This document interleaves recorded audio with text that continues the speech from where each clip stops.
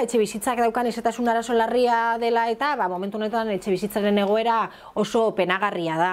Berak e, udal etxe bizitzetan hainbat eskari egin ditu hain zuzen ere egoera hau zuzentzeko asmoarekin, baina guztiak udal etxe bizitzaren partetik esestatuak izan dira, ez?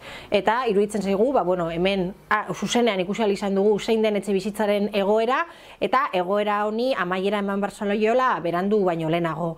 Horregaitik e, proposamen bat eramango dugu udal etxe bizitzetara, osea, e, udal batzara, intzuzen ere, e, ba, egoera honei aterabidea emateko, ez? Kontutan eduki behar da gainera, ganinaren egoera ekonomikoa ba, e, bueno, e, delikatua dela, ez? Eta horretarako bitartekoak e, behar direla egoera honi aurre egiteko.